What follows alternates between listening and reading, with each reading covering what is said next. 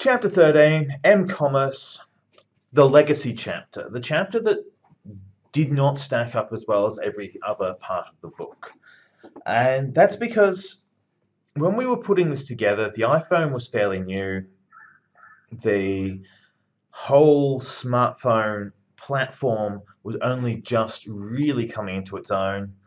Mobile phones were still seen as a standalone artifact, that they would sit outside the main marketing domain and that they would need to be treated as a separate channel isolated from the internet.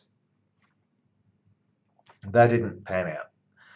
Basically, your modern mobile phone is the internet, it's just the internet with a smaller screen. So, one of these is not that far removed from the size of the screen that we began with in computing back in the 80s. With M marketing, mobile marketing, there's still SMS based marketing, which SMS basically ate um, multimedia messaging into a single unit. So um, there used to be a distinct differentiation between text and text with attachments. Bluetooth, yeah. There's a bunch of stuff that was done in Bluetooth marketing that was basically irritating, spam, privacy invading, and given Bluetooth just burns your battery life like nothing else, we were asking customers, send your mobile phone flat so we can annoy you with ads. There was no win scenario for being a customer there.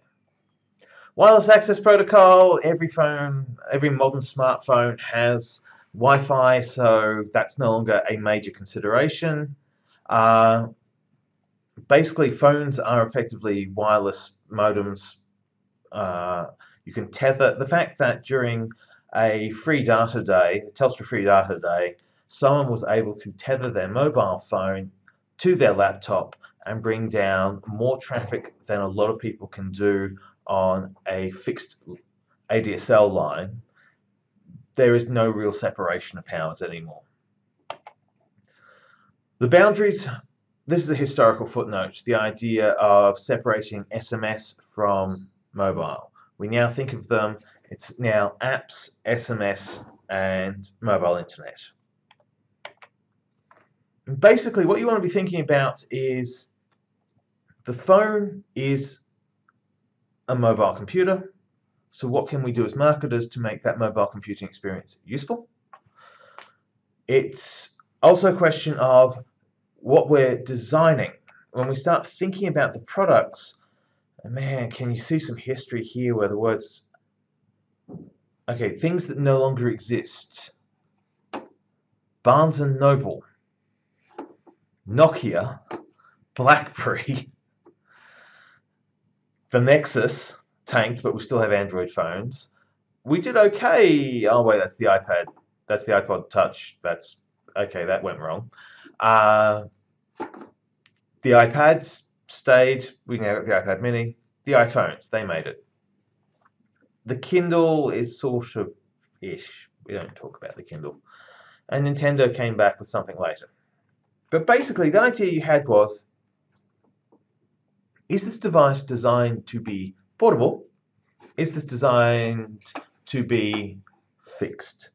And what benefit sets could you build around that if with a desktop computer, what was the relative advantage of that object, big, fixed, and solid, against its more mobile more mobile comrades, competitors.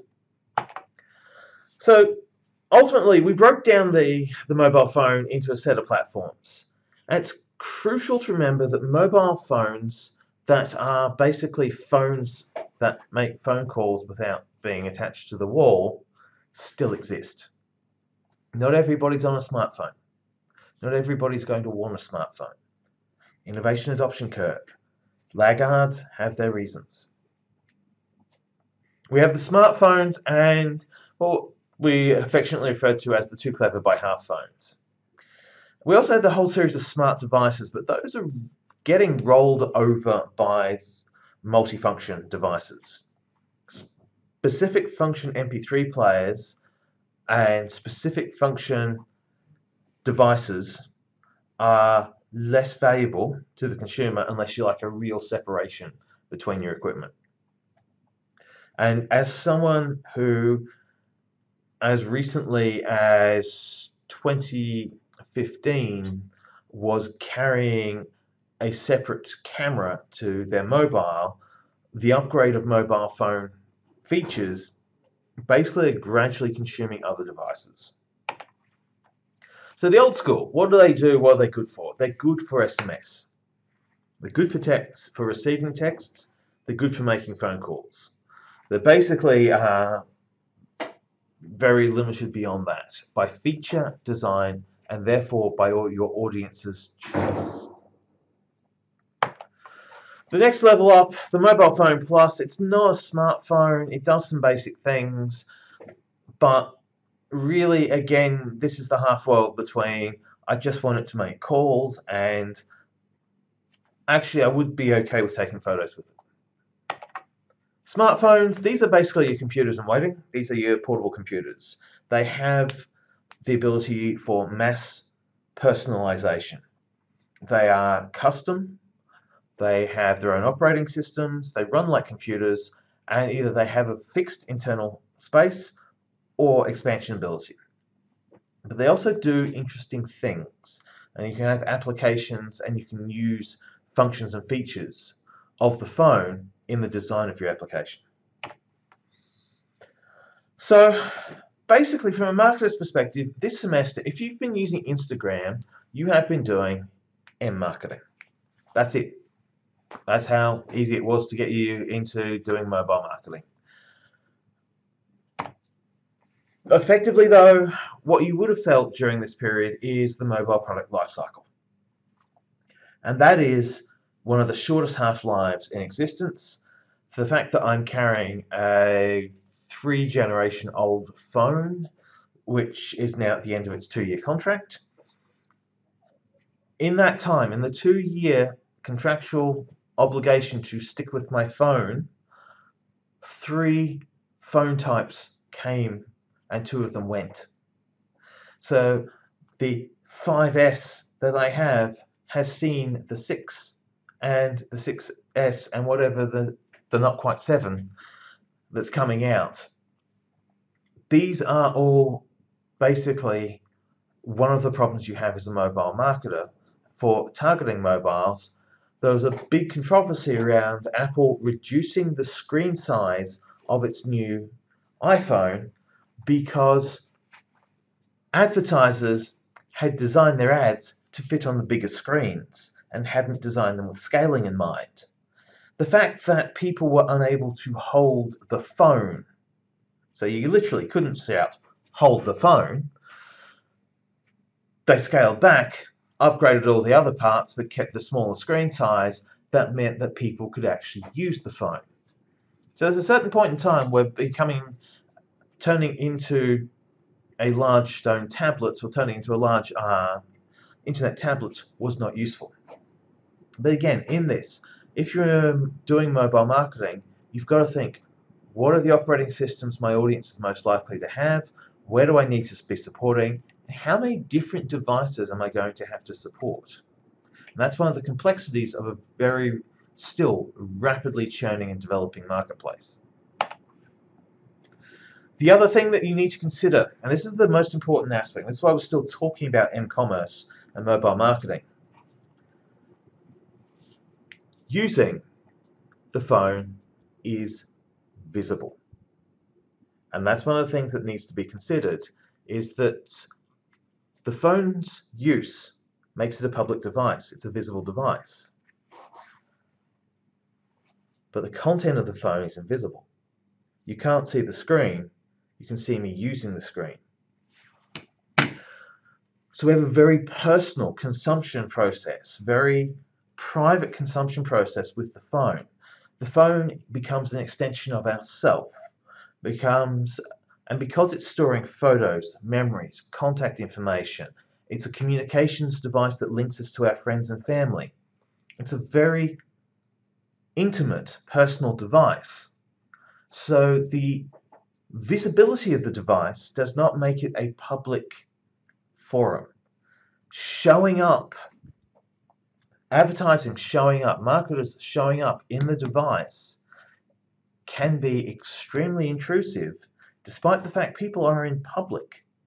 So if you're walking through a public space looking at your phone and suddenly a signal is broadcast from a shop somewhere that says, hey, a sale, a special, something, that is an incredibly interrupting, rude message because the fact you're walking through a space engaged with your phone means that you've got a personal connection.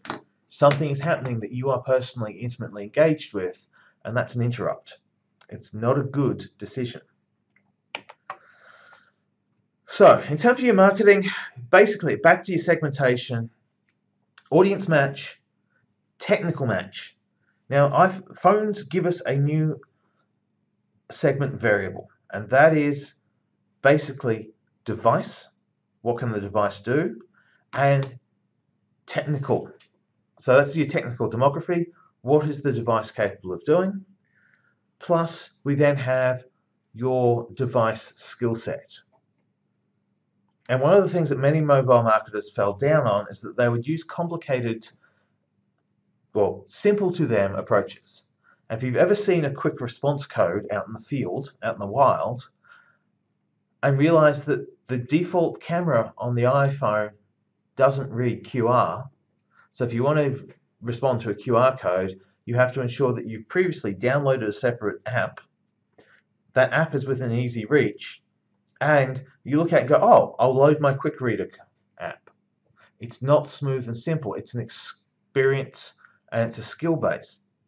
So that this, what should have been a very quick information gathering system, has got way more complexity. And that complexity can be a feature. We can sell complex, remember? Simplicity is not the best, it's simply the easiest. What you are looking for is do you want to make the segment work to access your materials? Because you are wanting to capture people with higher skill bases, higher mobile phone experience.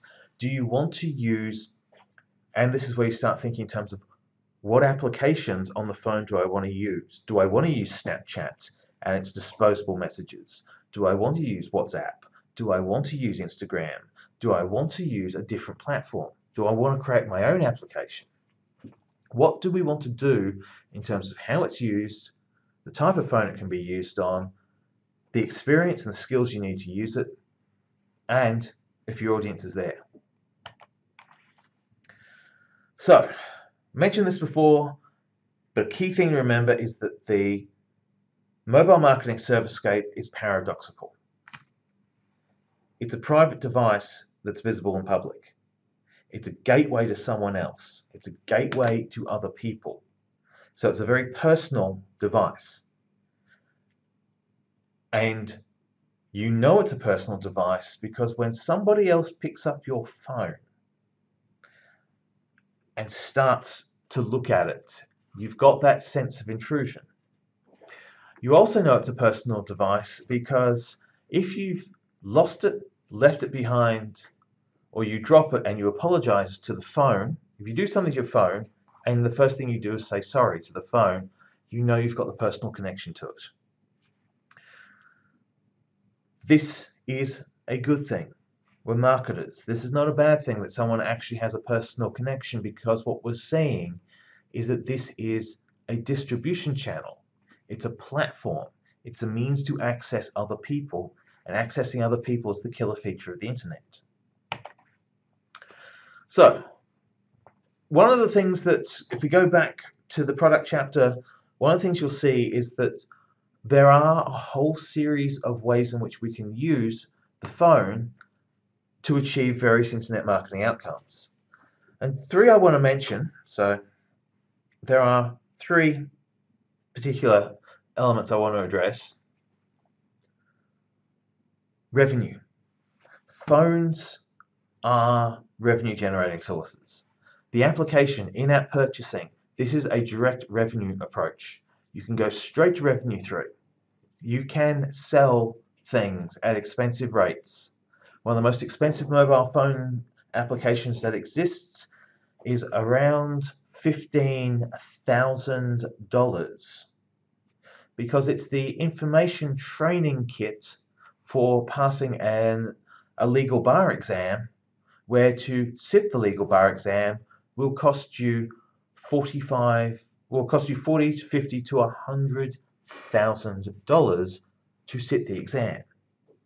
An advice guide and a study guide for an exam that's $100,000 an advice guide at $15,000 is a good price because everything's relative. Also that moment when you hit confirm purchase application and you're billed 15k for something off your mobile because you know it's worth it. That's magic. That's the marketer's dream because the value is there. So we can sell directly. It is a direct billing. It's a wallet. It's got preset things. You can preload credits onto it. You can spend through it. So it's a good revenue source. It's a good platform for entertainment. It's a good platform to shift ideas. And now it's becoming a behavioral platform. We can use mobile technology, inclusive of the uh, adding in something like a Fitbit that talks to a mobile device, we can encourage behavior through the device and we can track and reward behavior through the device's sensors. So it's a really good platform. It's a distribution channel. And that's the key takeout now is what can we do with these phones that benefits our audience so that they will want to give us some money.